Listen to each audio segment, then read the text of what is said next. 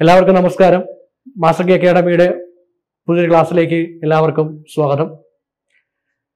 Financial സിസ്റ്റവുമായിട്ട് ബന്ധപ്പെട്ട് കുറച്ച് ചോദ്യങ്ങൾ പരിചയപ്പെടുത്താൻ വേണ്ടിയിട്ടാണ് ഈ ഒരു class.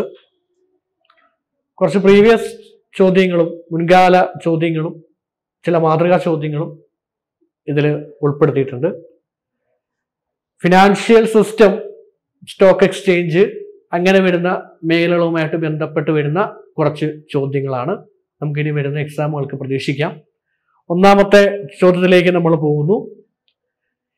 Take out financing is a kind of take out financing take out financing is a kind of take out എന്ന് പറഞ്ഞാൽ ലോങ് ടേം ഫിനാൻസിങ് ആണ് long term long term financing എന്ന് പറയുന്നത് ഇതിൽ ഏതിനകത്ത് വരും ഏത് ഗ്രൂപ്പിൽ വരും എന്നുള്ളതാണ്.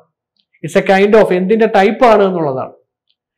ഇവിടെ നമ്മുടെ ലീസ് ഫിനാൻസിങ് ഉണ്ട്. ലീസിങ് ലീസിങ് അറിയാമായിരിക്കും ലീസിങ് ഒരു ലെസറും ലെസിയും തമ്മിലുള്ള ഒരു അസറ്റ് ലെസർ അയാളുടെ കൈവശമുള്ള ഒരു അസറ്റ് യൂസ് ചെയ്യാനുള്ള ഉപയോഗിക്കാനുള്ള അവകാശം വേറൊരാൾക്ക് നൽകുന്ന ഒരു എഗ്രിമെന്റിന് നമ്മൾ വിളിക്കുന്ന പേരാണ് ലീസിങ് അതെന്തല്ല? ഒരു ടേക്ക് ഔട്ട് ഫിനാൻസിങ് അല്ല. അതേപോലെ തന്നെ പിന്നെ ഹയർ പർച്ചേസ് ഉണ്ട്. മെർച്ചന്റ് ബാങ്കിങ് ഉണ്ട്. ബാങ്ക് ഫിനാൻസിങ് ഉണ്ട്. മെർച്ചന്റ് ബാങ്ക് എന്ന് പറഞ്ഞാൽ ഒരുപാട് കാര്യങ്ങൾ ഇൻവോൾവ്ഡ് ആയിട്ട് വരുന്ന ഒരു സർവീസ് ആണ് മെർച്ചന്റ് ബാങ്ക് എന്ന് പറയുന്നത്. അപ്പൊ ഒരു ബ്രോക്കേഴ്സ് ആയിട്ട് പ്രവർത്തിക്കാറുണ്ട് അണ്ടർ റൈറ്റേഴ്സ് ആയിട്ട് പ്രവർത്തിക്കാറുണ്ട് ഒരു കോർപ്പറേറ്റ് കൗൺസിലിംഗ് നടത്താറുണ്ട് ലോൺ സിൻഡിക്കേഷൻ നടത്താറുണ്ട് ക്യാപിറ്റൽ റീസ്ട്രക്ചർ ചെയ്യാറുണ്ട്. അങ്ങനെ കോർപ്പറേറ്റുകളുമായിട്ടൊക്കെ ബന്ധപ്പെട്ട് വരുന്ന സർവീസുകളൊക്കെ പ്രൊവൈഡ് ചെയ്യുന്നവരാണ് മെർച്ചന്റ് ബാങ്കേഴ്സ് അഥവാ മെർച്ചന്റ് ബാങ്ക് എന്ന് പറയുക. ഹയർ പർച്ചേസ് എന്താ? ഒരു ഹയർ വെൻഡർ ഹയർ പർച്ചേസറിന് ഗുഡ്സ് സെയിൽ ചെയ്യുന്നു. ആ ഗുഡ്സിന്റെ പ്രൈസ് ഇൻസ്റ്റാൾമെന്റ് ആയിട്ട് പേ ചെയ്യാം എന്ന് പറയുന്നു. ലാസ്റ്റ് ഇൻസ്റ്റാൾമെന്റ് പേ ചെയ്താൽ കഴിഞ്ഞാൽ മാത്രമേ ഗുഡ്സിന്റെ ഓണർഷിപ്പ് ഹയർ പർച്ചേസറിലേക്ക് ട്രാൻസ്ഫർ ചെയ്യുകയുള്ളൂ. Hire purchase is a type of special type of purchase and sale അപ്പൊ അതിന് ഫിനാൻസുമായിട്ട് ബന്ധമൊന്നുമില്ല. ഇതിലെ ടേക്ക് ഔട്ട് ഫിനാൻസിങ് എന്താണെന്ന് ചോദിച്ചാൽ ഏതിന്റെ ഭാഗമാണെന്ന് ചോദിച്ചാൽ it's a part of it's a kind of bank financing bank ഫിനാൻസിങ്ങിന്റെ ഒരു ഭാഗമാണ് ഇതെന്ന് പറയുന്നത്.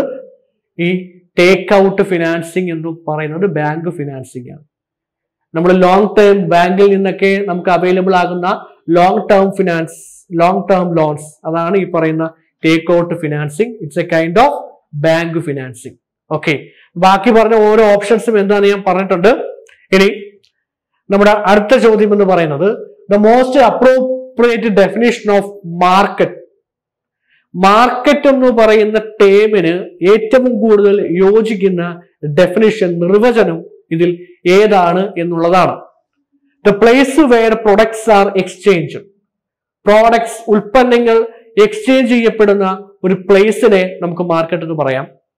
The time when products are exchanged പ്രോഡക്റ്റുകൾ എക്സ്ചേഞ്ച് ചെയ്യപ്പെടുന്ന ടൈമിനെ നമുക്ക് മാർക്കറ്റ് എന്ന് പറയാൻ സാധിക്കുമെന്ന് പറയുന്നു.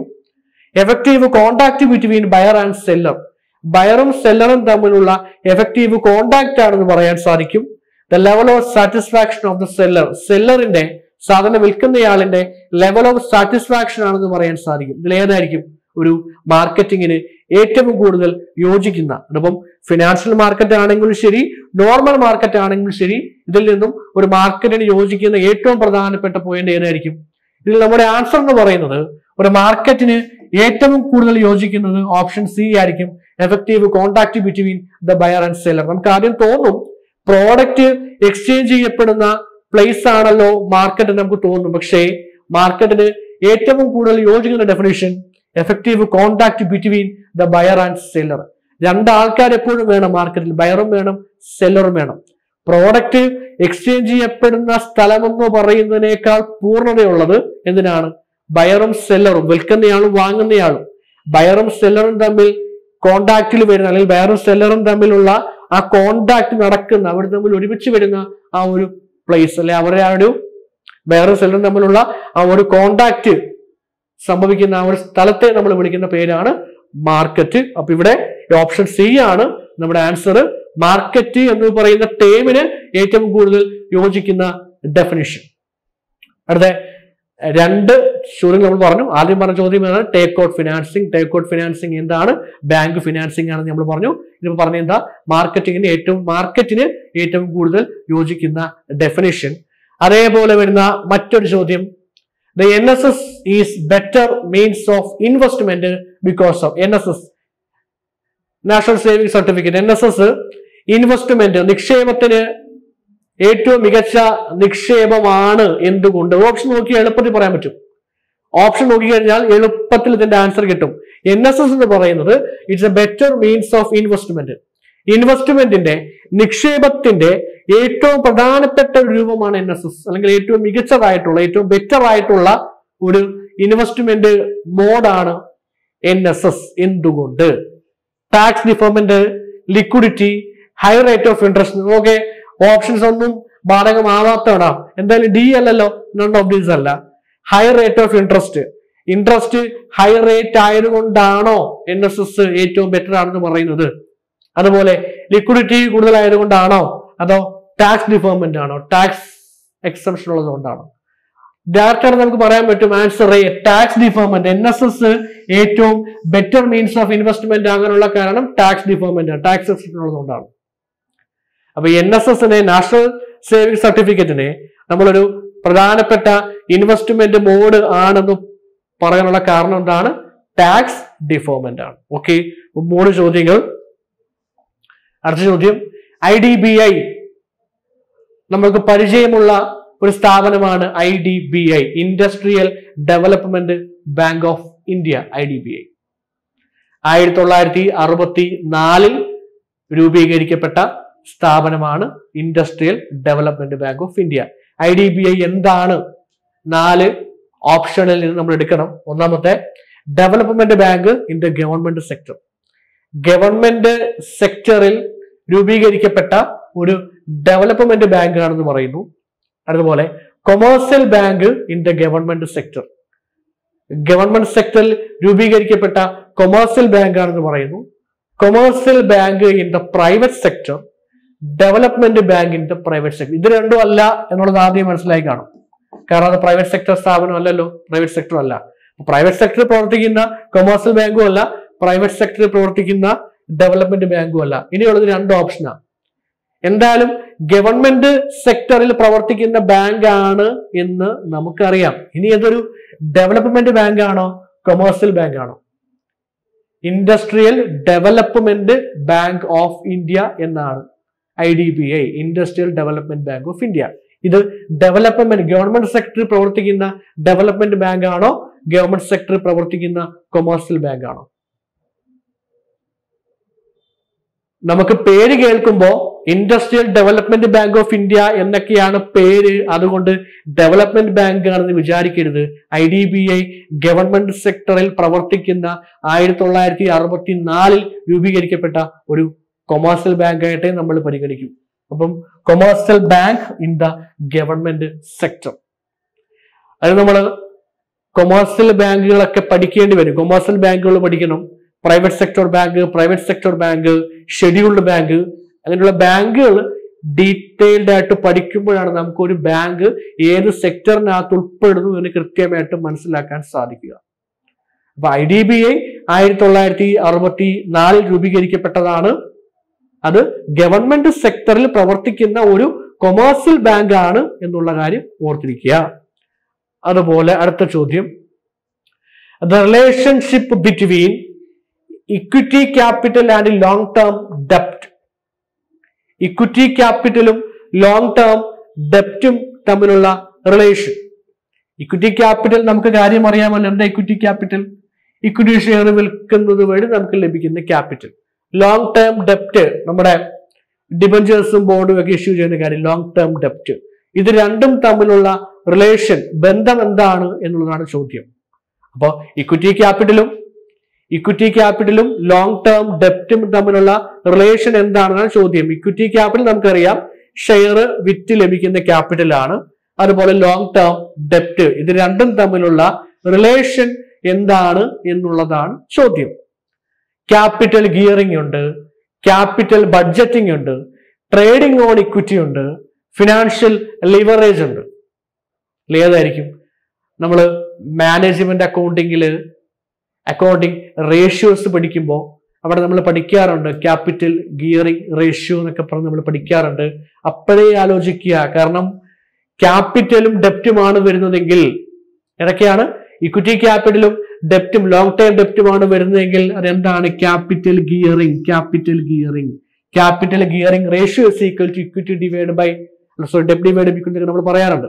അപ്പൊ ഇവിടെ ഇക്വിറ്റി ക്യാപിറ്റൽ ഇക്വിറ്റി ക്യാപിറ്റലും ലോങ് ടേം ഡെപ്റ്റും തമ്മിലുള്ള റിലേഷന് നമ്മൾ സൂചിപ്പിക്കുന്നത് ക്യാപിറ്റൽ ഗിയറിംഗ് എന്നുള്ളതാണ്. ക്യാപിറ്റൽ ഗിയറിംഗ് ക്യാപിറ്റൽ ബഡ്ജറ്റിംഗ് എന്താ ലോങ് ടേം ഡിസിഷൻസ് ആണ്. പിന്നെ ട്രേഡിംഗ് ഓൺ ഇക്വിറ്റി അതെന്തായാലും വരുന്നില്ല ഓക്കെ നമ്മൾ ഇവിടെ വരുന്ന ആൻസർ എന്താണ്? ക്യാപിറ്റൽ ഗിയറിംഗ് ആണ്. ഓക്കെ അടുത്ത ചോദ്യം. The treasury bill futures are bought for a hedge during a period when നമ്മൾ ട്രഷറി ബിൽ ഫ്യൂച്ചേഴ്സ് ഉപയോഗിക്കുന്നത് എപ്പോഴാണ് എന്നുള്ളതാണ് ചോദ്യം. ട്രഷറി ബിൽ ഫ്യൂച്ചേഴ്സ് ഉപയോഗിക്കുന്നത് എപ്പോഴാണ് എന്നുള്ളതാണ് ചോദ്യം. ഇൻട്രസ്റ്റ് റേറ്റ് പ്രഡിക്റ്റ് ചെയ്യാൻ കഴിയാത്തപ്പോഴാണോ? ഇൻട്രസ്റ്റ് റേറ്റ് സ്റ്റേബിൾ ആകുമ്പോഴാണോ? ഇൻട്രസ്റ്റ് റേറ്റ് കം ഡൗൺ കുറയുമ്പോഴാണോ? അതോ ആൾ ഓഫ് ദൈവവും ഈ പറയുന്ന എല്ലാ സാഹചര്യങ്ങളിലാണോ ബട്ട് എന്താ ട്രഷറി ബില്ല് ട്രഷറി ബിൽ എന്താണ്? Treasury bill is a promissory note issued by R B I on behalf of the government ഗവൺമെന്റിന് വേണ്ടി റിസർവ് ബാങ്ക് ഓഫ് ഇന്ത്യ ഇറക്കുന്ന പ്രോമിസറി നോട്ട്സിനെ വിളിക്കുന്ന പേരാണ് ട്രഷറി ബില്ല് ഗവൺമെന്റിന് വേണ്ടി റിസർവ് ബാങ്ക് ഓഫ് ഇന്ത്യ ഇറക്കുന്ന പ്രോമിസറി നോട്ട്സിനെ വിളിക്കുന്ന പേരാണ് ട്രഷറി ബില്ല് ഇപ്പൊ ഗവൺമെന്റ് ഒരു വ്യക്തിക്ക് ക്യാഷ് കൊടുക്കാനുണ്ടെന്നുണ്ടെങ്കിൽ ഗവൺമെന്റ് ആ വ്യക്തിക്ക് കൊടുക്കാനുള്ള ക്യാഷ് ഒരു പർട്ടിക്കുലർ ഡേറ്റിൽ കൊടുക്കാമെന്ന് കാണിച്ച് ഗവൺമെന്റിന് വേണ്ടി reserve bank of India issue ചെയ്യുന്ന പ്രോമിസറി നോട്ട്സിനെ നമ്മൾ വിളിക്കുന്ന പേരാണ് ട്രഷറി ബില്ല് ഇനി എന്താ future future means derivative contract future derivative കോൺട്രാക്റ്റാ ഒരു സ്റ്റാൻഡേർഡൈസ്ഡ് കോൺട്രാക്റ്റാണ് കാരണം ഒരു പ്രീ ഡിറ്റർമൈൻഡ് പ്രൈസിൽ ഒരു അസറ്റോ കറൻസിയോ കമ്മോഡിറ്റിയോ ഒരു പ്രീ ഡിറ്റർമൈൻഡ് പ്രൈസിൽ ഒരു അസറ്റോ കറൻസിയോ കമ്മോഡിറ്റിയോ ഒരു ഫ്യൂച്ചർ ഡേറ്റിൽ എക്സ്ചേഞ്ച് ചെയ്യാമെന്ന് രണ്ട് ആൾക്കാർ ചേർന്ന് എഴുതുന്ന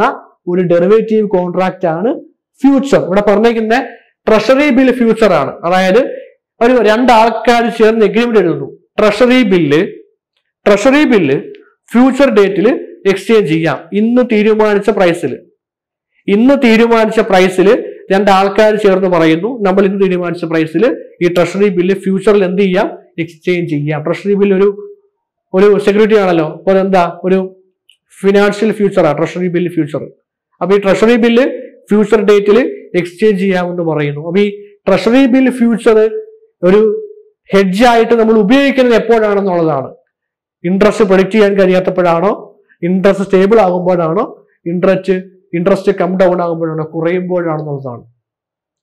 നമ്മൾ മുൻകൂട്ടി തീരുമാനിച്ചുറപ്പിച്ച ഒരു പ്രൈസിലാണ് ഒരു പ്രീ ഡിറ്റർമിൻഡ് പ്രൈസിലാണ് ട്രഷറി ബില്ല് ഫ്യൂച്ചറിൽ എന്ത് ചെയ്യുന്നത് നമ്മൾ എക്സ്ചേഞ്ച് ചെയ്യുന്നത്. അപ്പോഴേ ആലോചിക്കണം ഇൻട്രസ്റ്റ് റേറ്റ് കുറയുമ്പോഴായിരിക്കും. ഇൻട്രസ്റ്റ് റേറ്റ് കുറയുമ്പോഴാണ് നമ്മൾ ട്രഷറി ബിൽ ഫ്യൂച്ചേഴ്സ് എന്ത് ചെയ്യുക? ഒരു പീരീഡിൽ നമ്മൾ ഹെഡ്ജായിട്ട് എന്ത് ചെയ്യുക? യൂസ് ചെയ്യുക ഇൻട്രസ്റ്റ് റേറ്റ് കുറയുമ്പോഴായിരിക്കും നമ്മൾ ട്രഷറി ബിൽ ഫ്യൂച്ചേഴ്സ് എന്ത് ചെയ്യുക യൂസ് ചെയ്യുക. അതിന്റെ ഫ്യൂച്ചർ നമ്മൾ എന്ത് ചെയ്യുക ഉപയോഗിക്കുക. അപ്പൊ നമ്മൾ ഈ ഡെറിവേറ്റീവ്സ് പഠിക്കുമ്പോൾ ഡെറിവേറ്റീവ്സ് പഠിക്കുമ്പോൾ forward future option swap detailed ആയിട്ട് പഠിക്കേണ്ടതായിട്ട് വരുന്നുണ്ട്. അതുപോലെ നമ്മൾ കൊമോ മണി മാർക്കറ്റ് ഫിനാൻഷ്യൽ മാർക്കറ്റിനകത്ത് മണി മാർക്കറ്റ് പഠിക്കുമ്പോൾ അവിടെ മണി മാർക്കറ്റുമായിട്ട് ബന്ധപ്പെട്ട് വരുന്ന ഷോർട്ട് ടേം ഇൻസ്ട്രുമെന്റ്സ് പഠിക്കേണ്ടതായിട്ട് വരും. Commercial bill commercial paper certificate of deposit interbank participation repo എന്നൊക്കെ പറയുന്ന മെസോറിറ്റി പീരീഡ് വൺ ഇയറിൽ താഴെയുള്ള മണി മാർക്കറ്റ് ഇൻസ്ട്രുമെന്റ്സ് ആണ് ഞാൻ ഈ പറഞ്ഞത്. അപ്പൊ അങ്ങനെ മണി മാർക്കറ്റ് ഉപയോഗിക്കുന്ന പ്രധാനപ്പെട്ട ഇൻസ്ട്രുമെന്റ് ആണ് ഈ പറഞ്ഞ treasury bill maturity period one ഇയറിൽ കുറവായിരിക്കും.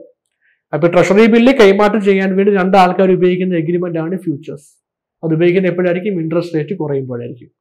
അടുത്ത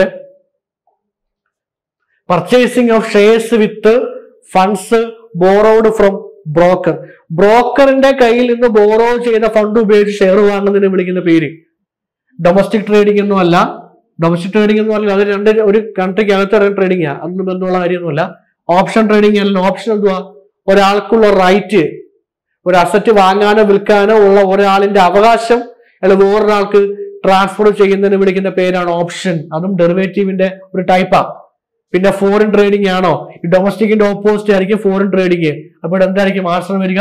ആൻസർ മാർജിൻ ട്രേഡിംഗ് ആണ്. Margin trading purchasing of shares with funds borrowed from broker is margin trading ബ്രോക്കറിന്റെ കയ്യിൽ നിന്ന് ബോറോ ചെയ്ത ഫണ്ട് ഉപയോഗിച്ച് ഷെയർ വാങ്ങുന്നതിനെ വിളിക്കുന്ന പേരാണ് margin trading margin trading foreign കേൾക്കുമ്പോൾ തന്നെ നമുക്ക് മനസ്സിലാവും.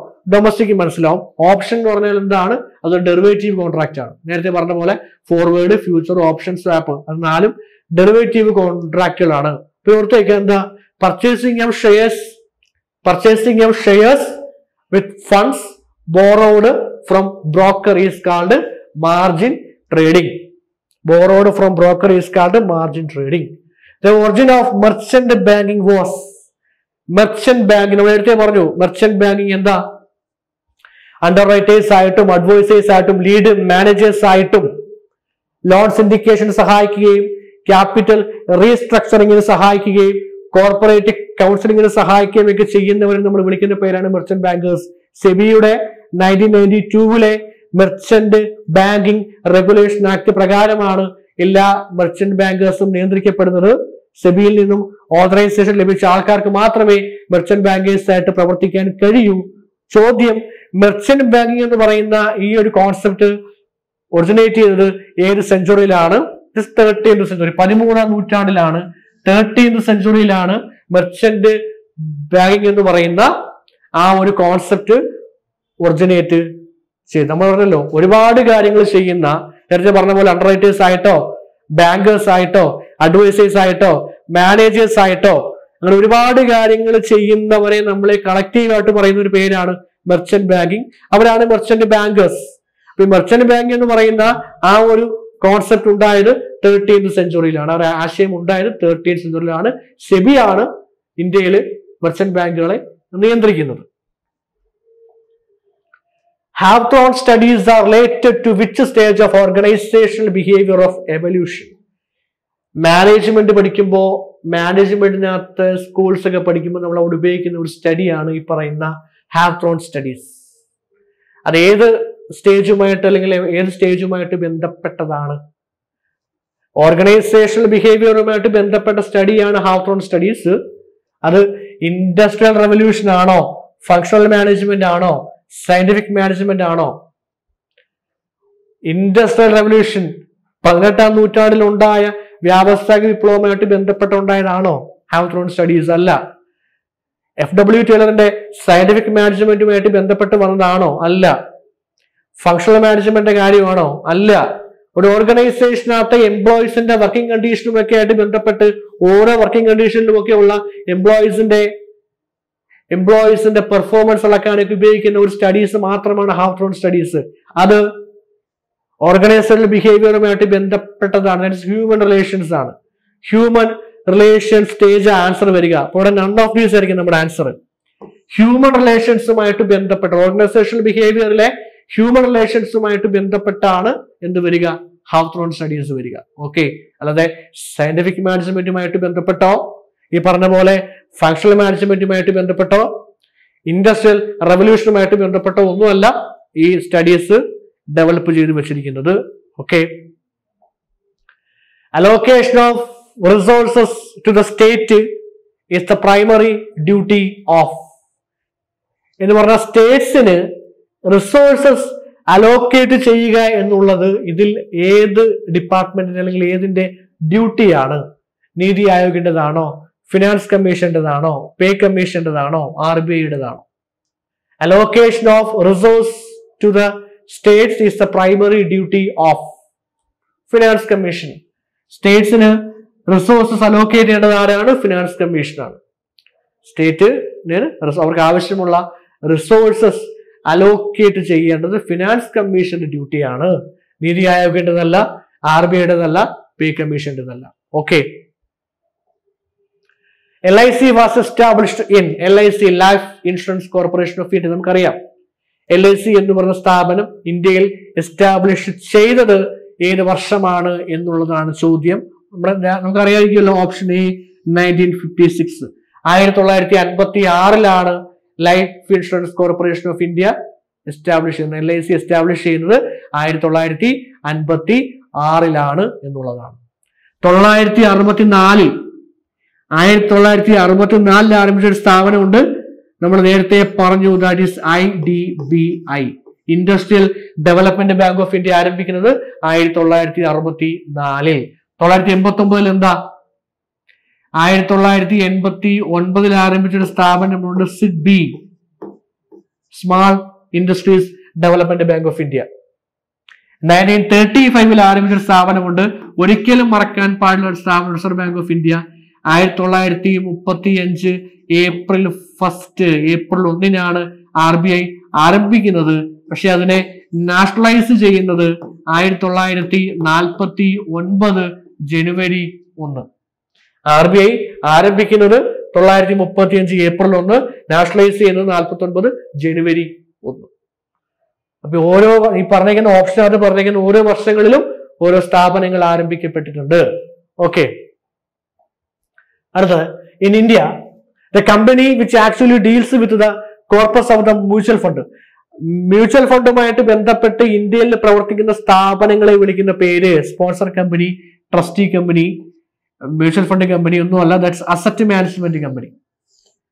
In India the company which actually deals with the corpus of the mutual fund is called mutual ഫണ്ടിന്റെ deals with the corpus mutual fund കോർപ്പസുമായിട്ട് ബന്ധപ്പെട്ട് പ്രവർത്തിക്കുന്ന സ്ഥാപനങ്ങളെ വിളിക്കുന്ന പേര് അസറ്റ് മാനേജ്മെന്റ് കമ്പനി അസറ്റുകൾ മാനേജ് ചെയ്യുന്ന company asset management company okay the device adopted to make profit out of price differences in two different markets രണ്ട് മാർക്കറ്റിലുള്ള സെക്യൂരിറ്റീസിന്റെ പ്രൈസിനകത്ത് വരുന്ന വ്യത്യാസം ഉപയോഗിച്ച് പ്രോഫിറ്റ് മേക്ക് ചെയ്യാൻ ഉപയോഗിക്കുന്ന ഡിവൈസ് അപ്പൊ ഒരു ഷെയറിന് എല്ലാ മാർക്കറ്റിനകത്തും ഉള്ള പ്രൈസ് സെയിം ആയിരിക്കത്തില്ല. സെക്യൂരിറ്റീസിന്റെ പ്രൈസിനകത്ത് എന്ത് വരും? വ്യത്യാസം വരും. അപ്പൊ സെക്യൂരിറ്റീസിന്റെ പ്രൈസിനകത്ത് വരുന്ന വ്യത്യാസത്തിൽ നിന്നായിരിക്കും എന്ത് മേക്ക് ചെയ്യുന്ന പ്രോഫിറ്റ് മേക്ക് ചെയ്യുന്നത്. ഇവിടെ ഒരു ചോദ്യം. സെക്യൂരിറ്റീസിന്റെ പ്രൈസിനകത്ത് വരുന്ന ഡിഫറൻസ് ആണ്. The device adopted to make profit out of price differences in two different markets അതായത് എല്ലാ എക്സ്ചേഞ്ചുകളിലും എല്ലാ മാർക്കറ്റുകളിലും സെക്യൂരിറ്റീസിന്റെ പ്രൈസ് സെയിം ആയിരിക്കത്തില്ല. ഇപ്പൊ സെക്യൂരിറ്റീസിന്റെ പ്രൈസിനകത്ത് വരുന്ന വ്യത്യാസം ഉപയോഗിച്ചായിരിക്കും എന്ത് മേക്ക് ചെയ്യുക? പ്രോഫിറ്റ് മേക്ക് ചെയ്യുക. അതിന് ഉപയോഗിക്കുന്ന ഡിവൈസ് നമ്മൾ അതുമായിട്ട് കണക്ട് ചെയ്ത് വരുന്ന എന്താണ്? ആർബിട്രേജ് ആണ് ആർബിട്രേജ് അപ്പൊ ആർബിട്രേജ് എന്ന ടൈം കേൾക്കുമ്പോഴേ ആലോചിക്കുക. ഡിഫറെന്റ് മാർക്കറ്റ്സ് ആയിരിക്കും ഡിഫറെന്റ് പ്രൈസ് ആയിരിക്കും. സെക്യൂരിറ്റീസിന് എല്ലാ സെക്യൂരിറ്റീസിന് എല്ലാ മാർക്കറ്റിലും ഒരേ പ്രൈസ് ആയിരിക്കില്ല. അങ്ങനെ ഡിഫറെന്റ് പ്രൈസ് വരുന്ന ഡിഫറെന്റ് മാർക്കറ്റിൽ ഡിഫറെന്റ് പ്രൈസിൽ ട്രാൻസാക്ഷൻ നടത്തിയതിന് ശേഷം അതിനകത്ത് എന്ത് മേക്ക് ചെയ്യും? പ്രോഫിറ്റ് മേക്ക് ചെയ്യും. അങ്ങനെ പ്രോഫിറ്റ് മേക്കുന്ന ആൾക്കാരെ വിളിക്കുന്ന പേരാണ് ആർബിട്രേജേഴ്സ് ഒരു എക്സ്ചേഞ്ച് ചെയ്യുന്ന സെക്യൂരിറ്റീസ് വാങ്ങിയിട്ട് അത് മറ്റൊരു എക്സ്ചേഞ്ച് കൊണ്ടുപോയി പ്രൈസ് കൂട്ടി എന്ത് ചെയ്യാൻ വിൽക്കാം. കാരണം പ്രൈസ് ഒരുപോലെ ആയിരിക്കത്തില്ല. അപ്പൊ അങ്ങനെ സെക്യൂരിറ്റീസിന്റെ മാർക്കറ്റിൽ സെക്യൂരിറ്റീസിന്റെ പ്രൈസിനകത്ത് വരുന്ന ഡിഫറൻസിൽ നിന്ന് പ്രോഫിറ്റ് മേക്ക് ചെയ്യുന്ന ആൾക്കാരുണ്ട്. അവരെ വിളിക്കേണ്ട പേരാണ് ആർബിട്രേജേഴ്സ് അപ്പൊ ഇവിടെ ഇതുമായിട്ട് കണക്ട് ചെയ്ത് വരുന്ന ടൈം ഏതാണ്? ആർബിട്രേജ് ആണ് ആർബിട്രേജ് അടുത്ത. Small investors gateway to enter into big companies is ചെറിയ ഇൻവെസ്റ്റേഴ്സിന് വലിയ കമ്പനികളിൽ എന്റർ ചെയ്യാൻ ചെറിയ ഇൻവെസ്റ്റേഴ്സിന് വലിയ കമ്പനികളിൽ എന്റർ ചെയ്യാനുള്ള അവസരം എന്താ? ഇക്വിറ്റി ഷെയർസ് ആണോ? പ്രിഫറൻസ് ഷെയർസ് ആണോ? ബോൺസ് ആണോ? മ്യൂച്വൽ ഫണ്ട് ആണോ? ഓപ്ഷൻ കാണുമ്പോഴേ ആൻസർ കിട്ടും. ദാറ്റ് ഇസ് മ്യൂച്വൽ ഫണ്ട് ചെറിയ കമ്പനികൾക്ക് ചെറിയ സോറി ചെറിയ ഇൻവെസ്റ്റേഴ്സ് സ്മാൾ ഇൻവെസ്റ്റേഴ്സിന് ചെറുകിട സംരംഭകർക്ക് വലിയ ചെറിയ നിക്ഷേപകർക്ക് വലിയ കമ്പനികളിൽ എന്റർ ചെയ്യാനുള്ള അവസരം മ്യൂച്വൽ ഫണ്ടാണ് എന്ത് ചെയ്യുന്നു? ഒരു കൂട്ടം ഇൻവെസ്റ്റേഴ്സിന്റെ കയ്യിൽ നിന്ന് അവരുടെ സേവിങ്സ് കളക്ട് ചെയ്തിട്ട് അതെന്ത് ചെയ്യുന്നു? സെക്യൂരിറ്റീസിനകത്ത് ഇൻവെസ്റ്റ് ചെയ്യുന്നു. അപ്പൊ ഈ ഓരോ ഇൻവെസ്റ്റേഴ്സും ഒരു വലിയ കമ്പനിയുടെ പാർട്ടായിട്ട് ഷെയർ ഹോൾഡേഴ്സ് ആയിട്ട് മാറും. അപ്പൊ ചെറിയ ഇൻവെസ്റ്റേഴ്സിന് വലിയ വൻകിട കമ്പനികളിലൊക്കെ പാർട്ടിസിപ്പേറ്റ് ചെയ്യാനുള്ള ഷെയർ ഹോൾഡർ ആകാനുള്ള അവസരം നൽകുന്നത് എന്തായിരിക്കും? Mutual ഫണ്ടുകളായിരിക്കും okay STRIPS what do you mean by STRIPS ആ സ്ട്രിപ്സുമായിട്ട് ബന്ധപ്പെട്ട കുറെ നാല് സ്റ്റേറ്റ്മെന്റ്സ് കൊടുത്തിട്ടുണ്ട് സ്ട്രിപ്സ് എന്താ? Separate trade register of initial public securities offer share ആദ്യമായിട്ട് വിൽക്കുന്നതിന്റെ സെപ്പറേറ്റ് രജിസ്റ്റർ ആണ്. സ്ട്രിപ്സ് എന്ന് പറയുന്നു. Stock trading register of interest and principal securities separate trading of registered interest and principal of securities share transfer and register of Indian public securities issues strips എന്ന് പറഞ്ഞാൽ ഇത്ര ഓർക്കുക STRIPS means separate separate trading of registered interest and principal of securities സെക്യൂരിറ്റീസിന്റെ സെക്യൂരിറ്റീസിന്റെ പ്രിൻസിപ്പിളും ഇൻട്രസ്റ്റിന്റെ അതായത് trading ആണ് separate trading of registered interest and principal. സെക്യൂരിറ്റീസിന്റെ registered ഇൻട്രസ്റ്റും പ്രിൻസിപ്പിളും സെപ്പറേറ്റ് ആയിട്ട് ട്രേഡ് ചെയ്യുന്നതിന് വിളിക്കുന്ന പേരാണ് STRIPS. Separate trading of registered interest and principal of securities. Separate trading of registered interest and principal of securities okay അടുത്ത perpetual bond is also non S perpetual ബോണ്ടിനെ വിളിക്കുന്ന മറ്റൊരു പേര്. ഡീപ്പ് ഡിസ്കൗണ്ട് ബോണ്ട് ആണോ bearer bond ആണോ registered bond ആണോ ഏതിനെയാണ് perpetual ബോണ്ടിന് നമ്മൾ ബോണ്ടിന്റെ ക്ലാസിഫിക്കേഷൻ പഠിച്ചപ്പോ ഇവിടെ പറഞ്ഞ പറഞ്ഞ കാര്യങ്ങളാണ്. എന്താണ് ഈ പറഞ്ഞ ഓരോ ടൈപ്പ് ബോണ്ടുകളും പെർപ്പക്ച്വൽ ബോണ്ടിനെ പെർപ്പക്ച്വൽ ബോണ്ടിനെ വിളിക്കുന്ന മറ്റൊരു പേര് is known as irredeemable bond irredeemable bond irredeemable bond redeem ചെയ്യാൻ കഴിയാത്ത ലിക്വിഡേഷൻ ടൈമിൽ മാത്രം ഡിസൊല്യൂഷൻ ടൈമിൽ മാത്രം റെഡീം ചെയ്യാൻ കഴിയുന്ന ബോണ്ടാണ് ഇറഡീമബിൾ ബോണ്ട് അത് തന്നെയാണ് ഏത്? പെർപ്പക്ച്വൽ ബോണ്ട് അടുത്തത്. Dash bonds are high risk and high yield bonds developed in U S A U S എയിൽ ഡെവലപ്പ് ചെയ്ത റിസ്ക് കൂടിയ ഈൽഡും കൂടിയ റിട്ടേണും റിസ്ക്കും കൂടിയ ബോൺസിനെ വിളിക്കുന്ന പേര്. Dash bonds are high risk and high yield bonds developed in U S A U S എയിൽ അമേരിക്കയിൽ ഡെവലപ്പ് ചെയ്ത റിസ്ക് കൂടിയ ഒരുപാട് റിസ്ക് കൂടിയ അതേപോലെ ഹൈ ഈൽഡ് റിട്ടേണും കൂടിയ ആ സ്പെഷ്യൽ ടൈപ്പ് ഓഫ് ബോൺസ് വിളിക്കുന്ന പേരാണ് junk bonds junk bonds dash bonds are high risk and high yield bonds developed in U S A U S എയിൽ ഡെവലപ്പ് ചെയ്ത റിസ്ക് കൂടിയ റിട്ടേണും കൂടിയ ആ സ്പെഷ്യൽ ടൈപ്പ് ഓഫ് ബോൺസ് ആണ്. ഇപ്പൊ ജങ്ക് ബോൺസ് എന്ന് കണ്ടാൽ അപ്പോഴേ ആലോചിക്കുക. ജങ്ക് ബോൺസ് കണ്ടാൽ ഏതാണ്? ജങ്ക് ബോൺസ് കണ്ടാൽ ഏതാണ്? യു എസ് എ ആണ്. Okay BOLT stands for BOLT ഏഷ്യയിൽ ആരംഭിക്കപ്പെട്ട ആദ്യത്തെ സ്റ്റോക്ക് എക്സ്ചേഞ്ച് ആണ് B S E Bombay stock exchange B S C ആദ്യകാലത്ത് ആരംഭിക്കുന്ന സമയത്ത് ട്രേഡിംഗ് എല്ലാം ട്രഡീഷണൽ ആണ്. എന്ന് പറഞ്ഞാൽ ഓഫ്ലൈൻ ആണ്. ബി എസ് സി എന്തായിട്ട് മാറി? പിന്നീട് ഓൺലൈൻ ആയിട്ട് മാറി.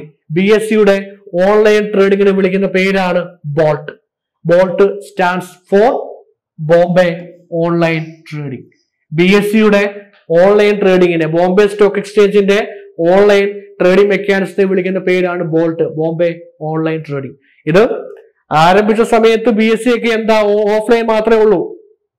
ഏഷ്യയിലെ തന്നെ ആദ്യത്തെ എക്സ്ചേഞ്ച് ആണ് ബി എസ് സി അപ്പൊ ബി എസ് സി അന്ന് ട്രഡീഷണലി ഓഫ്ലൈൻ ആയിട്ട് ആരംഭിക്കപ്പെട്ട ആ എക്സ്ചേഞ്ച് പിന്നെ എന്തായിട്ട് മാറി?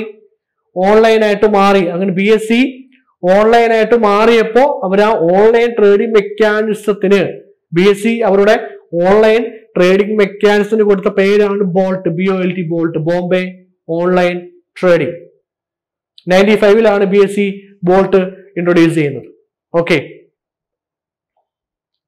Sensex is the index of stock എക്സ്ചേഞ്ചുകളൊക്കെ പഠിക്കുമ്പോൾ അല്ലെങ്കിൽ സ്റ്റോക്ക് എക്സ്ചേഞ്ച് പഠിക്കുമ്പോൾ നമ്മൾ പഠിക്കുന്നുണ്ട് ബി എസ് സിയും എൻ എസ് സിയും ഒക്കെ പഠിക്കുന്നുണ്ട്. ഇതിൽ ഏതാ? സെൻസെക്സ് ഏത് എക്സ്ചേഞ്ചിന്റെ ഇൻഡെക്സ് ആണ്? ബി എസ് സിയുടേതാണോ എൻ എസ് സി ആണോ? ഒ ടി സി ഐ ആണോ? സി എസ് സി ആണോ? പി എസ് സി അറിയാലോ?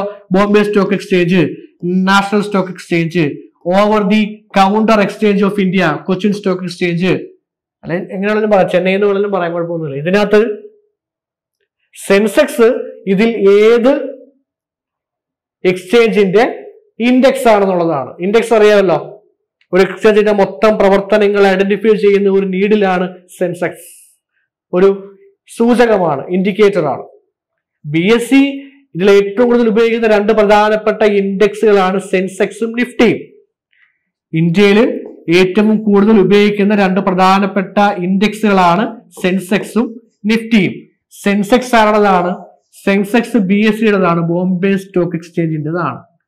നിഫ്റ്റി ആണതാണ് നിഫ്റ്റി എൻ എസ് സിയുടേതാണ് നാഷണൽ സ്റ്റോക്ക് എക്സ്ചേഞ്ചിന്റെ ഇൻഡെക്സിനെ വിളിക്കുന്ന പേരാണ് നിഫ്റ്റി ബോംബെ സ്റ്റോക്ക് എക്സ്ചേഞ്ചിന്റെ ഇൻഡെക്സിനെ വിളിക്കുന്ന പേരാണ് സെൻസെക്സ്. പത്രങ്ങളിലൊക്കെ ഓരോ ദിവസവും ഇതിന്റെ രണ്ടിന്റെയൊക്കെ വരാറുണ്ടല്ലോ. സെൻസെക്സ് നിഫ്റ്റിയുടെ ഒക്കെ തോത് വരാറുണ്ട്. The bill which does not require acceptance is called acceptance ആവശ്യമില്ലാത്ത ബില്ലിനെ വിളിക്കുന്ന പേര്. സപ്ലൈ ബില്ലാണോ ഡോക്യുമെന്ററി ബില്ലാണോ ബിൽ ഓഫ് ലാഡിംഗ് ആണോ? Treasury ബില്ലാണോ the bill which does not require acceptance ഇതിനകത്ത് ഏത് ബില്ലിലാണ് അക്സെപ്റ്റൻസ് വേണ്ടാത്തത്? The bill which does not require acceptance the bill which does not require acceptance ഇതിൽ ഏത് ബില്ലിനാണ് അക്സെപ്റ്റൻസ് വേണ്ടാത്തത്? ട്രഷറി ബില്ലിനാണ്. ട്രഷറി ബിൽ ഇറക്കുന്നത് റിസർവ് ബാങ്ക് ഓഫ് ഇന്ത്യയാണ് അക്സെപ്റ്റൻസിന്റെ ആവശ്യമില്ല. ട്രഷറി ബില്ലിന് എന്ത് വേണ്ട? നേരത്തെ പറഞ്ഞ പോലെ ഗവൺമെന്റിന് വേണ്ടി reserve bank of India issue ചെയ്യുന്ന പ്രോമിസറി നോട്ട്സിനെ വിളിക്കുന്ന പേരാണ് ട്രഷറി ബില്ല് എന്ന അക്സെപ്റ്റൻസിന്റെ ആവശ്യം വരുന്നില്ല. അപ്പൊ the bill which does not require acceptance is called treasury bills the market for extremely short period loan is called short period ലോണിന് വിളിക്കുന്ന പേര്. അത് ഷോർട്ട് പീരീഡ് ലോണിന്റെ മാർക്കറ്റിന് വിളിക്കുന്ന പേര്. മണി മാർക്കറ്റിന്റെ സബ് മാർക്കറ്റ് ആണ്. G government securities market money ആയിട്ട് short notice treasury bill market call money market call money market just one day to fourteen days ഒരു ദിവസം മുതൽ പതിനാല് ദിവസം വരെ മാത്രം വാലിഡിറ്റിയുള്ള ലോൺ ഇഷ്യൂ ചെയ്യുന്ന മാർക്കറ്റിനെ വിളിക്കുന്ന പേരാണ് കോൾ മണി മാർക്കറ്റ് അതാണ് ഇതിനകത്ത് ഏറ്റവും വരുന്ന ഷോർട്ട് പീരീഡ് ലോൺ മണി മാർക്കറ്റിന്റെ ഒന്നാമത്തെ സബ് മാർക്കറ്റ് ആണ് ഈ പറയുന്ന call money market one day to fourteen days loan ഒരു ദിവസം മുതൽ പതിനാല് ദിവസം വരെ മാത്രം വാലിഡിറ്റി ഉള്ള ലോണൊക്കെ ഇഷ്യൂ ചെയ്യുന്ന മാർക്കറ്റിനെ വിളിക്കുന്ന പേരാണ് ഈ പറയുന്ന call money market short period ആണ്. അതുകൊണ്ടാണല്ലോ മണി മാർക്കറ്റിന്റെ സബ് മാർക്കറ്റ് ആയത്. Okay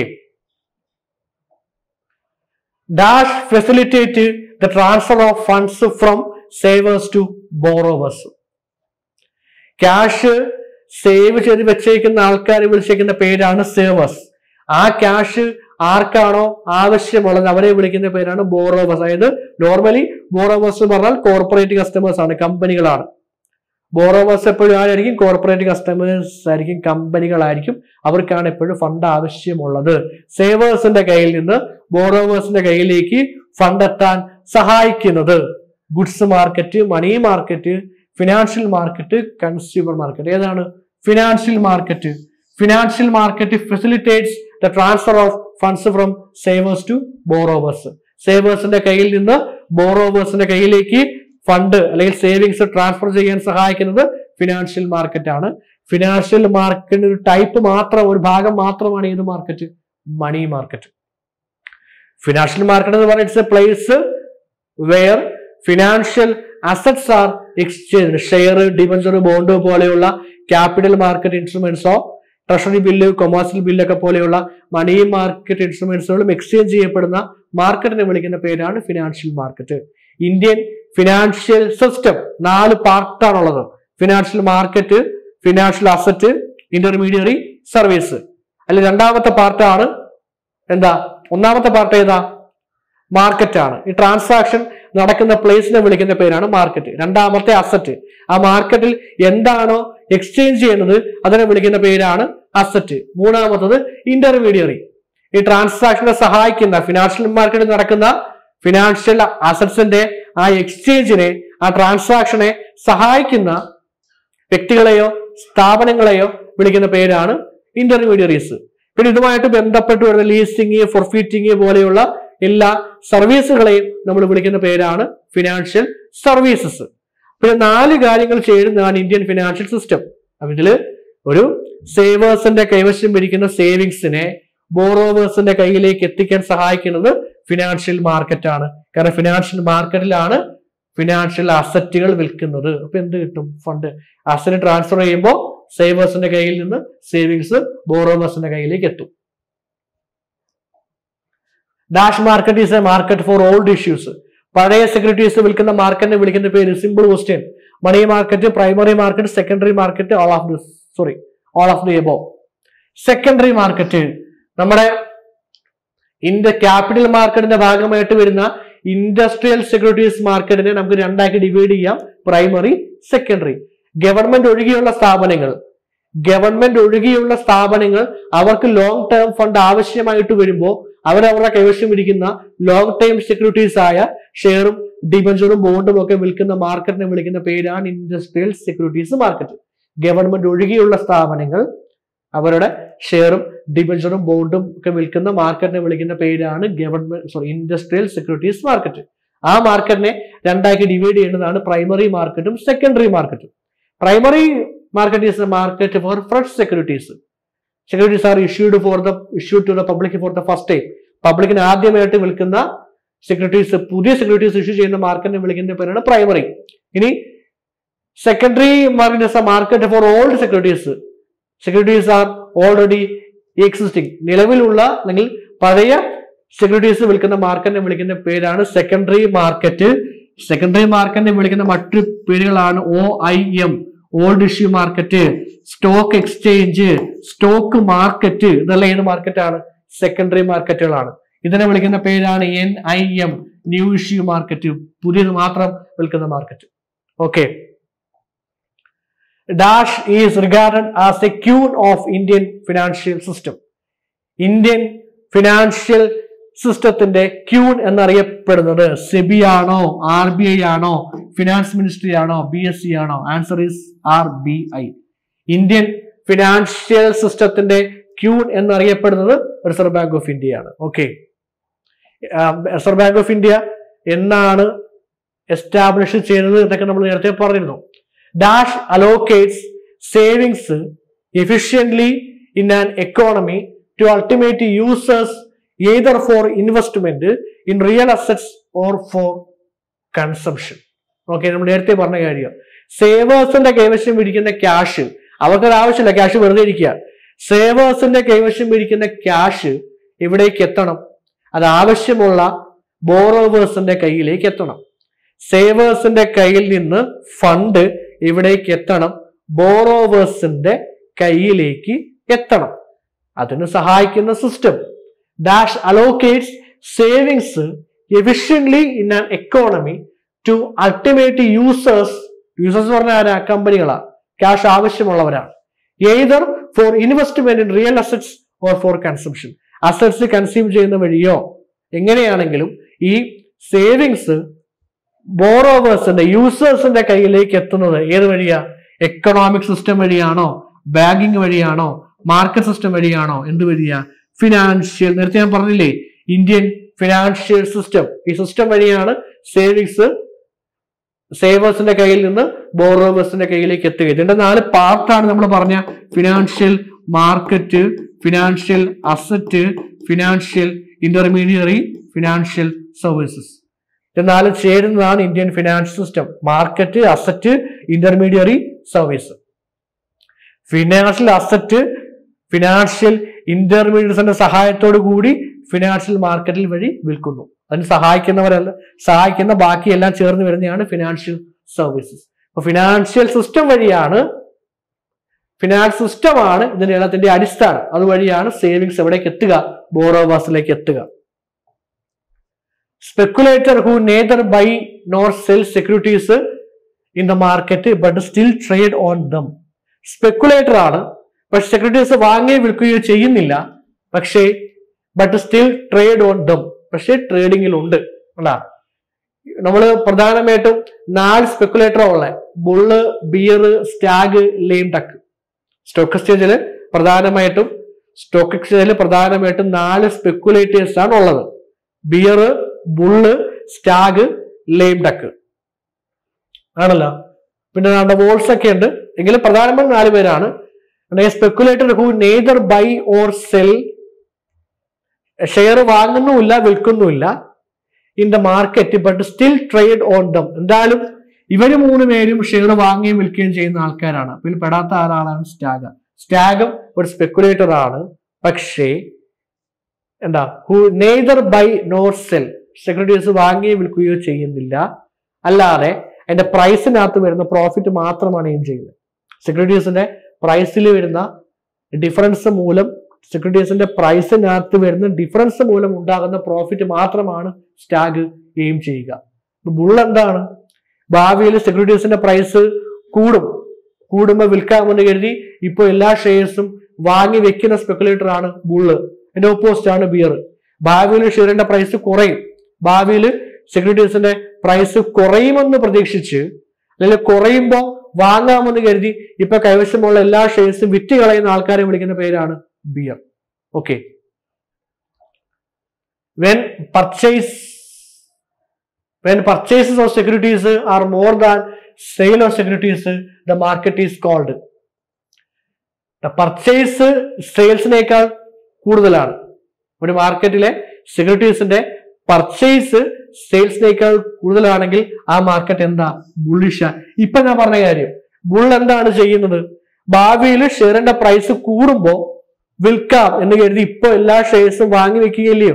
അപ്പൊ എല്ലാ ആൾക്കാരും ഇങ്ങനെ ചിന്തിച്ചാൽ പർച്ചേസ് അല്ലേ കൂടുക? എന്ത് കുറയും? സെയിൽസ് കുറയും. ഭാവിയിൽ വില കൂടുമ്പോ വിൽക്കാമെന്ന് കരുതി ഇപ്പൊ എല്ലാ ഷെയർസും വാങ്ങി വെക്കുന്നു. എല്ലാവരും ഇതേപോലെ ചിന്തിക്കുമ്പോൾ എല്ലാവരും ഷെയർസ് വാങ്ങി വെക്കുന്നു. പർച്ചേസ് കൂടും സെയിൽസ് ഇല്ല. ആ മാർക്കറ്റിനെ വിളിക്കുന്ന പേരാണ് ബുള്ളിഷ് മാർക്കറ്റ് ആണ് when purchases of securities are more than sales of securities the market is called bullish purchase കൂടുകയും സെയിൽസ് കുറയുകയും ചെയ്യുന്ന ആ മാർക്കറ്റിനെ വിളിക്കുന്ന പേരാണ് bullish market the facility to carry forward a transaction from one settlement period to another is call Dan transaction ഒരു എന്താ the facility to carry forward a transaction from one settlement period to another is അതായത് ഒരു settlement പീരീഡിൽ നിന്ന് മറ്റൊരു settlement പീരീഡിലേക്ക് ഒരു ട്രാൻസാക്ഷനെ carry forward ചെയ്യുന്നതിനെ വിളിക്കുന്ന പേര്. The facility to carry forward a transaction from one settlement period to another ഒരു സെറ്റിൽമെന്റ് പീരീഡിൽ നിന്ന് മറ്റൊരു സെറ്റിൽമെന്റ് പീരീഡിലേക്ക് ഒരു ട്രാൻസാക്ഷനെ ക്യാരി ഫോർവേഡ് ചെയ്യുന്നതിനെ വിളിക്കുന്ന പേര്. നമുക്ക് എന്നത് പറയാം? അതിന് നമുക്ക് ബട്ട്ല എന്ന് പറയാം. അങ്ങനെ ക്യാരി ഫോർവേഡ് ചെയ്യുന്നതിന് വിളിക്കുന്ന പേരാണ് ബട്ട്ല എന്ന് പറയുന്നത്. ഓക്കെ അടുത്തത്. The certificate which evidences and unsecured corporate ഡെപ്റ്റ് of short term maturity the certificate which evidences and unsecured corporate ഡെപ്റ്റ് corporate കമ്പനികൾ ഇഷ്യൂ ചെയ്യുന്നതാണ് കോർപ്പറേറ്റ്. സർട്ടിഫിക്കറ്റ് വെച്ച് എവിഡൻസസ് അൺസെക്യൂർഡ് അൺസെക്യൂർഡ് കോർപ്പറേറ്റ് ഡെപ്റ്റ് ഓഫ് ഷോർട്ട് ടേം മെച്യൂരിറ്റി അറിയാതെ വരും. ഇതെല്ലാം money മാർക്കറ്റുമായിട്ട് ബന്ധപ്പെട്ടതാണ്. Secured promissory notes inter bank participate certificate commercial certificate of deposit commercial paper ഇതിനകത്ത് ഏതാണ്? ഒരു കമ്പനി കോർപ്പറേറ്റുമായിട്ട് ബന്ധപ്പെട്ട് ഇഷ്യൂ ചെയ്യുന്ന ഇൻസ്ട്രുമെന്റ് ഏതാണ്? കൊമേഴ്സ്യൽ ഇത് രണ്ടും എന്തായാലും അല്ല. സെക്യൂർഡ് പ്രീമിയം നോട്ടല്ല. ഇത് ബാങ്ക് ഇഷ്യൂ ചെയ്യുന്ന ഇത് പക്ഷെ കോർപ്പറേറ്റ് അല്ലേ? കമ്പനിയാണ് ഇത് ബാങ്ക് ഇഷ്യൂ ചെയ്യുന്നതാണ് സെക്യൂർഡ് പ്രീമിയം നോട്ട്സ് അല്ല. ഇത് രണ്ടെണ്ണമാണ് വരുന്നത്. സർട്ടിഫിക്കറ്റ് ഓഫ് ഡെപ്പോസിറ്റും അതുപോലെ കൊമേഴ്സ്യൽ പേപ്പറും എപ്പോഴും കമ്പനി ഇഷ്യൂ ചെയ്യുന്നതായിരിക്കും കൊമേഴ്സ്യൽ പേപ്പർ ആയിരിക്കും. കൊമേഴ്സ്യൽ പേപ്പറാണ് commercial paper certificate deposit issue ചെയ്യുന്നത് ആരായിരിക്കും? ഒരു ബാങ്ക് ആയിരിക്കും. കാരണം a person appointed by a stock broker to assist to him in the business of securities trading at a trading floor അതായത് ഒരു സ്റ്റോക്ക് എക്സ്ചേഞ്ചിന്റെ ട്രേഡിംഗ് ഫ്ലോറിൽ ആ എക്സ്ചേഞ്ചിലെ ഒരു ബ്രോക്കർ അയാളെ സഹായിക്കാൻ വേണ്ടി അപ്പോയിന്റ് ചെയ്യുന്ന ആളിന്റെ പേര്. ഒരു സ്റ്റോക്ക് എക്സ്ചേഞ്ചിൽ ഒരു സ്റ്റോക്ക് എക്സ്ചേഞ്ചിൽ ഒരു സ്റ്റോക്ക് എക്സ്ചേഞ്ചിലെ ഒരു ബ്രോക്കർ സ്റ്റോക്ക് എക്സ്ചേഞ്ചിലെ ഒരു ബ്രോക്കർ അയാളെ സഹായിക്കാൻ വേണ്ടി ആ എക്സ്ചേഞ്ചിന്റെ ട്രേഡിംഗ് ഫ്ലോറിൽ അയാളെ സഹായിക്കാൻ വേണ്ടി അപ്പോയിന്റ് ചെയ്യുന്ന ആളിന്റെ പേര്. സബ് ബ്രോക്കർ ഉണ്ട് കമ്മീഷൻ ബ്രോക്കർ ഉണ്ട് ക്ലർക്ക് ഉണ്ട് റെമിസേഴ്സ് ഉണ്ട്. ഇതൊക്കെ സ്റ്റോക്ക് എക്സ്ചേഞ്ചിന്റെ ട്രേഡിംഗ് മെമ്പേഴ്സ് ആണ്. അതായത് ഒരു സ്റ്റോക്ക് എക്സ്ചേഞ്ചിന്റെ ട്രേഡിംഗ് ഫ്ലോറിൽ ഒരു ബ്രോക്കർ ആ ട്രേഡിംഗ് ആക്ടിവിറ്റിയിൽ അയാളെ സഹായിക്കാൻ വേണ്ടി അപ്പോയിന്റ് ചെയ്യുന്ന ആളിന്റെ പേര് ഓതറൈസ്ഡ് ക്ലർക്ക് ആയിരിക്കും. ക്ലർക്ക് ക്ലർക്കുകളെയാണ് അപ്പോയിന്റ് ചെയ്യുന്നത്. ട്രാൻസാക്ഷനെ സഹായിക്കാൻ വേണ്ടി ബ്രോക്കേഴ്സ് അപ്പോയിന്റ് ചെയ്യുന്ന ആൾക്കാരെ വിളിക്കുന്ന പേരാ ക്ലർക്ക്. ഒരു എക്സ്ചേഞ്ചുമായിട്ട് ബന്ധപ്പെട്ട് നടക്കുന്ന ട്രാൻസാക്ഷനകത്ത് ആ എക്സ്ചേഞ്ചിന്റെ ട്രേഡിംഗ് ഫ്ലോറിൽ എക്സ്ചേഞ്ചിന്റെ ട്രേഡിംഗ് ഫ്ലോറിൽ ആ ഒരു ബ്രോക്കർ അയാളെ സഹായിക്കാൻ വേണ്ടി അപ്പോയിന്റ് ചെയ്യുന്ന ആൾക്കാരാണ് ക്ലർക്ക്. മനസ്സിലായ? സബ് ബ്രോക്കേഴ്സ് ആരാ? ഈ ബ്രോക്കറിന് ആ ട്രാൻസാക്ഷന് പങ്കെടുക്കാൻ എന്തെങ്കിലും ഒരു സമയക്കുറവോ മറ്റോ കാര്യങ്ങളോ ഉണ്ടെങ്കിൽ അതിനുവേണ്ടി അയാൾ അപ്പോയിന്റ് ചെയ്യുന്ന മറ്റു ബ്രോക്കേഴ്സിനെ വിളിക്കുന്ന പേരൊക്കെയാണ് സബ് ബ്രോക്കേഴ്സ് പിന്നെ വരുന്നതാണ് കമ്മീഷൻ അവർ അപ്പോയിന്റ് ചെയ്യുന്നവരാണ് കമ്മീഷൻ ബ്രോക്കേഴ്സ് മെയിൻ ബ്രോക്കേഴ്സ് ആണ് ഇവർ commission brokers commission brokers appoint ചെയ്യുന്നതാണ് സബ് ബ്രോക്കേഴ്സിനെ അപ്പൊ ഇതാണ് ക്ലർക്കാണ് ഒരു എക്സ്ചേഞ്ചിന്റെ ട്രേഡിംഗ് ഫ്ലോറിൽ ഒരു എക്സ്ചേഞ്ചിന്റെ ട്രേഡിംഗ് ഫ്ലോറിൽ ഒരു ബ്രോക്കർ ആ ട്രേഡിംഗ് ആക്ടിവിറ്റിയിൽ അയാളെ സഹായിക്കാൻ വേണ്ടി അപ്പോയിന്റ് ചെയ്യുന്ന ആൾക്കാരെ വിളിക്കുന്ന പേരാണ് authorised clerk dash bills are drawn by contractors contractors എഴുതുന്ന bill dash bills are drawn by contractors on the government departments for the goods supplied goods supply ചെയ്യുന്നതുമായിട്ട് ബന്ധപ്പെട്ട് ഗവൺമെന്റ് ഡിപ്പാർട്ട്മെന്റ്സിൽ വർക്ക് ചെയ്യുന്ന കോൺട്രാക്ടേഴ്സ് എഴുതുന്ന ബില്ലിനെ വിളിക്കുന്ന പേര്. Supply bills dash bills are treasury bill അറിയാൻ നേരത്തെ നമ്മൾ പറഞ്ഞ? കുറെ വട്ടം പറഞ്ഞ. Dash bills are drawn by contractors on the government department for the goods supplied by them goods supply ചെയ്യുന്നതിന് പകരമായിട്ട് ഗവൺമെന്റ് ഡിപ്പാർട്ട്മെന്റുകളിലെ കോൺട്രാക്ടേഴ്സ് എഴുതുന്ന ബില്ലുകളെ വിളിക്കുന്ന പേരാണ് സപ്ലൈ ബിൽസ് എന്ന് പറയുന്നത്. Dash is also known as G securities G secs dash is also known as G securities എന്താ? Government securities government സെക്രട്ടറീസിനെ വിളിക്കുന്ന മറ്റൊരു പേരാണ് ജി സെക്രട്ടറീസ്. ഇനി ഇതിനെ വിളിക്കുന്ന ഗവൺമെന്റ് സെക്രട്ടറീസിനെ വിളിക്കുന്ന മറ്റൊരു പേര് കൂടിയുണ്ട് gilt edged securities. Government secretaries അറിയപ്പെടുന്ന മറ്റൊരു പേരാണ് gilt G I L T gilt edged secretaries. അതിനാണ് G secretaries. Okay.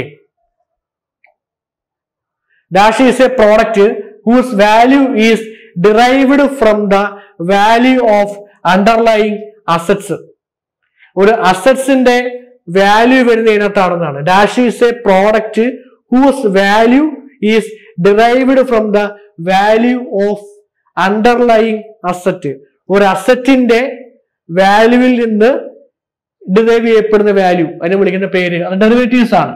കാരണം ഡെറിവേറ്റീവ്സ് ഫോർവേഡ് ആയാലും ഫ്യൂച്ചർ ആയാലും ഓപ്ഷൻ ആയാലും അതിനകത്തെല്ലാം ഒരു അണ്ടർലൈങ് അസറ്റ്സ് ഉണ്ടായിരിക്കും.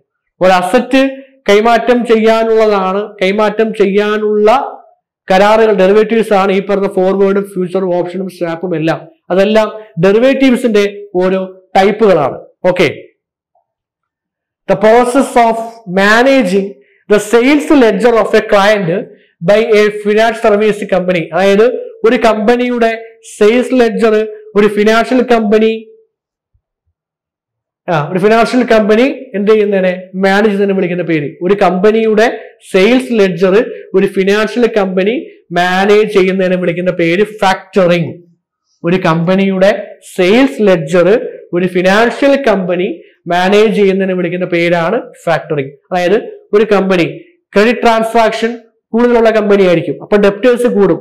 ഈ ഡെപ്റ്റേഴ്സ് കളക്ട് ചെയ്യാൻ വേണ്ടി ഈ കമ്പനി ഒരു ഫിനാൻഷ്യൽ അഡ്വൈസറെ ഒരു ഫിനാൻഷ്യൽ കമ്പനിയെ പോയി പരിഗണിക്കുമ്പോൾ ആ ഫിനാൻഷ്യൽ കമ്പനി നമ്മുടെ കമ്പനിയുടെ ഡെപ്റ്റേഴ്സ് കളക്ട് ചെയ്യാനുള്ള ഉത്തരവാദിത്വം ഏറ്റെടുക്കും. റെസ്പോൺസിബിലിറ്റി ഏറ്റെടുക്കും. ആ സർവീസിനെ വിളിക്കുന്ന പേരാണ് ഫാക്ടറിങ് അപ്പൊ പിന്നീട് ഈ കമ്പനിയുടെ സെയിൽസ് ലെഡ്ജർ മാനേജ് ചെയ്യുന്നത് ഈ ഫിനാൻസിങ് കമ്പനി ആയിരിക്കും. അപ്പൊ ഒരു കമ്പനിയുടെ സെയിൽസ് ലെഡ്ജർ ഒരു ഫിനാൻസ് കമ്പനി മാനേജ് ചെയ്യുന്നതിന് വിളിക്കുന്ന പേര്. ഈ ഫിനാൻസ് കമ്പനിയുടെ ക്ലയന്റ് ആയിരിക്കും മറ്റേ കമ്പനി അപ്പൊ ആ കമ്പനിയുടെ സെയിൽസ് ലെഡ്ജർ ഒരു ഫിനാൻസിങ് കമ്പനി മാനേജ് ചെയ്യുന്നതിന് വിളിക്കുന്ന പേരാണ് factoring dash bonds permit the bond holder to invest the interest income again in those bonds അതായത് ഒരു ബോണ്ടിൽ നിന്ന് ലഭിച്ച ഇൻകം സോറി ഒരു ബോണ്ടിൽ നിന്നും ലഭിച്ച ഇൻട്രസ്റ്റ് ഇൻകം വീണ്ടും ഇൻവെസ്റ്റ് ചെയ്യാൻ കഴിയുന്ന bonds bunny bonds dash bonds permit the bond holders bond ഹോൾഡറിനുള്ള അവകാശം എന്തുവാ?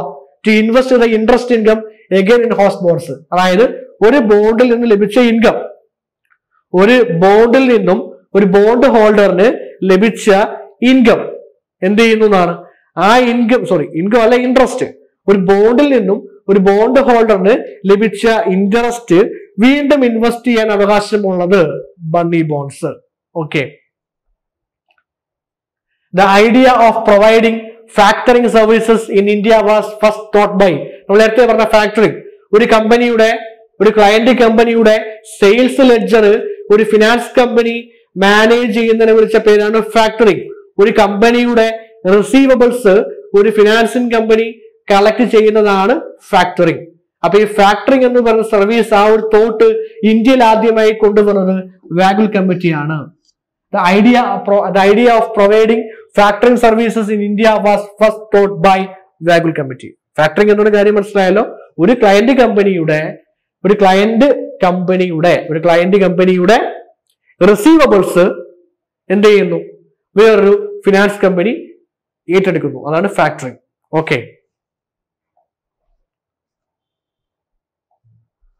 dash is a permission to quote securities officially on the trading floor of the exchange അതായത് ഒരു സ്റ്റോക്ക് എക്സ്ചേഞ്ചിന്റെ ട്രേഡിംഗ് ഫ്ലോറിൽ ഒരു സ്റ്റോക്ക് എക്സ്ചേഞ്ചിന്റെ ട്രേഡിംഗ് ഫ്ലോറിൽ സെക്യൂരിറ്റീസ് വിൽക്കുവാനുള്ള പെർമിഷൻ വിളിക്കുന്ന പേര്. ഇപ്പം രാജ്യത്ത് ഒരുപാട് കമ്പനികളുണ്ട്. ഈ കമ്പനികൾക്കെല്ലാം അവരുടെ ഷെയർസ് എന്ത് ചെയ്യാം? സ്റ്റോക്ക് എക്സ്ചേഞ്ച് വഴി വിൽക്കാം. പക്ഷേ അങ്ങനെ ഒരു കമ്പനിക്ക് ഒരു കമ്പനിക്ക് അവരുടെ ഷെയർസ് സ്റ്റോക്ക് എക്സ്ചേഞ്ച് വഴി വിൽക്കണമെന്നുണ്ടെങ്കിൽ ഒരു പെർമിഷൻ വാങ്ങണം പെർമിഷന്റെ പേര്. അതാണ് ലിസ്റ്റിംഗ് എന്ന് പറയുന്നത് ലിസ്റ്റിംഗ് അങ്ങനെ ലിസ്റ്റിംഗിന്റെ പെർമിഷൻ കിട്ടിയാൽ മാത്രമേ ഒരു കമ്പനിക്ക് ഒരു കമ്പനിക്ക് സ്റ്റോക്ക് എക്സ്ചേഞ്ചിൽ നിന്ന് ലിസ്റ്റിങ്ങിനുള്ള പെർമിഷൻ കിട്ടിയാൽ മാത്രമേ ആ കമ്പനിക്ക് അവരുടെ ഷെയർസ് സ്റ്റോക്ക് എക്സ്ചേഞ്ച് വഴി പബ്ലിക്കിന് ഇഷ്യൂ ചെയ്യാൻ കഴിയുന്ന ലിസ്റ്റിംഗ് സെക്യൂരിറ്റീസ്. അപ്പൊ ഇവിടെ രാജ്യത്ത് പ്രവർത്തിക്കുന്ന എല്ലാ കമ്പനികളും ലിസ്റ്റ് ചെയ്യപ്പെടണമെന്നാണ് സെബിയുടെ റെഗുലേഷൻസ്. അതായത് എല്ലാ കമ്പനികളും അവർക്ക് ഏത് എക്സ്ചേഞ്ചിലാണ് ലിസ്റ്റ് ചെയ്യേണ്ടത് ആ എക്സ്ചേഞ്ചിൽ കൊണ്ടുപോയി ലിസ്റ്റിംഗിന്റെ ആപ്ലിക്കേഷൻ കൊടുക്കാം. ലിസ്റ്റിംഗിന്റെ ആപ്ലിക്കേഷൻ കൊടുത്തതിന് ശേഷം ആ എക്സ്ചേഞ്ചിന്റെ ലിസ്റ്റിംഗ് അതോറിറ്റി ആപ്ലിക്കേഷൻ പരിശോധിച്ചതിന് ശേഷമായിരിക്കും ലിസ്റ്റിംഗിന്റെ പെർമിഷൻ കൊടുക്കുക. നമ്മൾ കുറേ ഡോക്യുമെന്റ്സ് ഒക്കെ സബ്മിറ്റ് ചെയ്യേണ്ടതായിട്ട് വരും. അപ്പൊ അങ്ങനെ ലിസ്റ്റ് ചെയ്ത് കിട്ടിയാൽ മാത്രമേ അപ്പൊ ഒരു കമ്പനിക്ക് ലിസ്റ്റിങ്ങിനുള്ള പെർമിഷൻ കിട്ടിയാൽ മാത്രമേ ലിസ്റ്റിങ്ങിന്റെ പെർമിഷൻ കിട്ടിയാൽ മാത്രമേ ആ സ്റ്റോക്ക് എക്സ്ചേഞ്ച് വഴി ഷെയർസ് ട്രേഡ് ചെയ്യാൻ സാധിക്കുകയുള്ളൂ. അപ്പൊ എക്സ്ചേഞ്ചിൽ സെക്യൂരിറ്റീസ് ട്രേഡ് ചെയ്യാനുള്ള പെർമിഷനെ നമ്മൾ വിളിക്കുന്ന പേരാണ് ലിസ്റ്റിംഗ് എന്ന് പറയുന്നത്. ഓക്കെ